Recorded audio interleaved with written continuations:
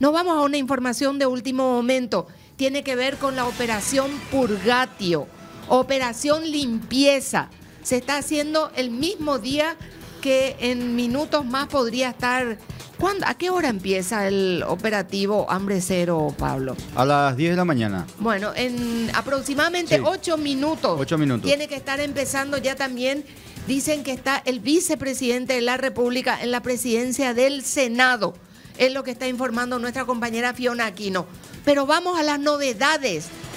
Lo que quería saber, bien puntilloso, con los detalles que te estaban faltando, algunos videos y las primeras fotos que están saliendo a la luz de los criminales brasileños que hoy fueron o están siendo exportados al Brasil, todos de riguroso blanco, encapuchados también. Iván.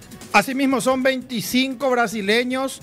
Ahora confirman que son en realidad de siete prisiones paraguayas, los que seguramente en instantes más van a ser expulsados de Paraguay a través de dos puntos migratorios. El comprendido por Pedro Juan Caballero y Pontaponá y el de Ciudad del Este con Foz de Iguazú. Esta es la nómina de los 25 extranjeros que fueron extraídos de siete penitenciarías de nuestro país. Ahí cuando tengamos también ya las placas con los nombres para que conozcan los rostros. Hay algunos nombres de personas importantes. Por ejemplo, de la Penitenciaría Regional de Concepción fue extraído para ser enviado al Brasil Gabriel Pereira Ferreira. Este es de Concepción. La nómina de Pedro Juan Caballero incluye, por ejemplo, a Ronnie Von Goncalves Silva, Marcos José Resende, Anderson Junior Giacomani, Enrique Fornelli, Wilson Fernando Lima de Souza, Elimar Sales de Souza.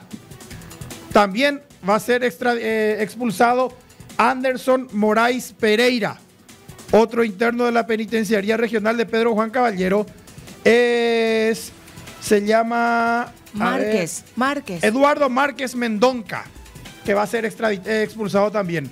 Ahí aparece, por ejemplo, el famoso narco Gilmar Ribeiro, alias Indio, quien estaba preso en la cárcel de Coronel Oviedo. Él operaba desde Villaú durante mucho tiempo. Elibelton Antunes Viana, Valdecir Prestes.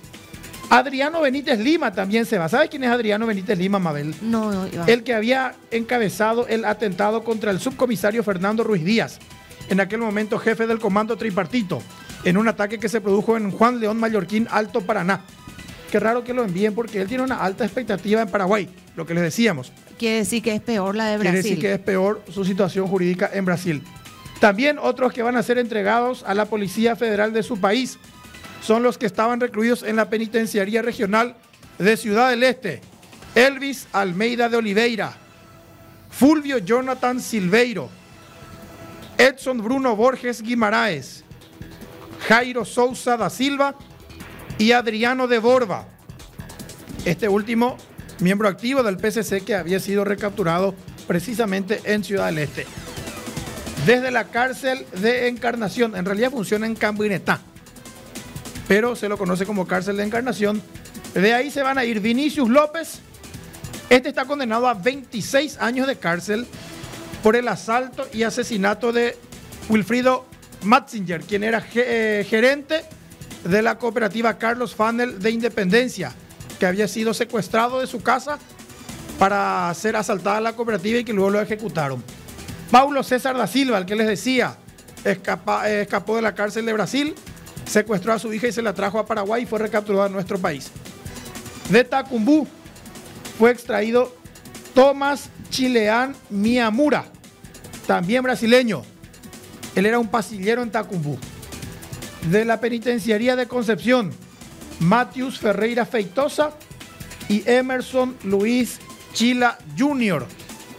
Otros que van a ser enviados a su país de origen y completa la nómina al interno de la Unidad Penal Industrial Esperanza, que es un régimen abierto, Paulo Maluf Piñeiro, quien estaba alojado en el pabellón de esa prisión, que va a ser enviado también a Brasil, ser entregado ante la Policía Federal.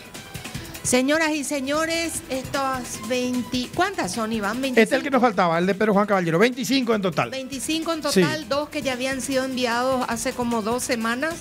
Sí, y este operativo, 27 con ellos. Este operativo se ha acordado entre Paraguay y Brasil. Y atención, no tiene antecedentes, dice Iván, no se ha hecho antes un operativo tan grande para expulsar del Paraguay a soldados brasileños criminales que estaban eh, hospedados en varias penitenciarías locales. Atención con este dato, nos decían que a las 11 de la mañana iba a haber una conferencia de prensa desde presidencia, pero vos dijiste, Iván, que esto está cambiando y que podría ser recién a las 5 de la tarde. No, en realidad la información original era que a las 5 de la tarde iba a haber una conferencia de prensa en la que recién ahí el gobierno iba a informar sobre esta operación que era evidente y lógico que se filtrara por el despliegue de personas que hubo. Eh, a las 9 y 45, hace 13 minutos, en teoría, debió haber iniciado la reunión del ministro del CODENA, del Consejo de Defensa Nacional, el contraalmirante en situación de retiro, Cíbar Benítez, quien debía estar reunido con el presidente de la República. Correcto. Lo que se especulaba es que como era lógico que se filtrara, a raíz de una mm, deficiente, pésima estrategia de comunicación, ya se adelantara la información oficial luego de la reunión del contraalmirante Sibar con el presidente. Pasó eso. Y hasta ahora no hay información. Hace 13 minutos tuvo que haber iniciado la reunión. Un interno de Tacumbú, uno de Esperanza, nueve de Pedro Juan Caballero, cuatro de Coronel Oviedo, cinco de Ciudad del Este, dos de Encarnación y tres de Concepción, los expulsados.